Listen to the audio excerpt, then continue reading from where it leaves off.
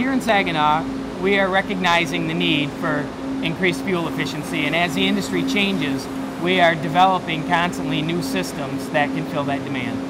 Nexteer, in five or ten years, will be bigger than it is today, and if we keep doing the things that we're doing, we'll continue to grow and be sustainable into the foreseeable future.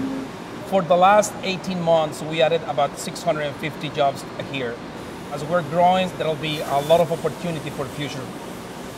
Currently, we're developing electronic steering, and we've captured quite a lot of uh, business from the big three. The new EPS is an electric power steering. Um, it's going to be for your big trucks, GM big trucks, Silverado, Sierras, Escalade, Tahoe.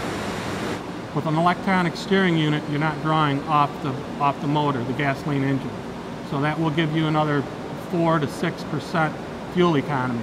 It's a good outlook, especially with gas being right around three, three fifty a gallon. I think people actually they really like it when they learn about it. When you're in the vehicle, you can feel the difference as you start handling.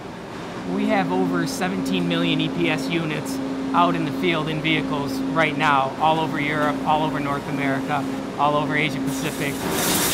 It's, it's a commitment to Saginaw. You know, we're going to be here, and the money that's coming into this plant or coming out of this plant is going to be spent in Saginaw, in the community, in the restaurants, in the housing market. The future that I see for the Saginaw side is going to be growth, making sure we're here for another 100 years.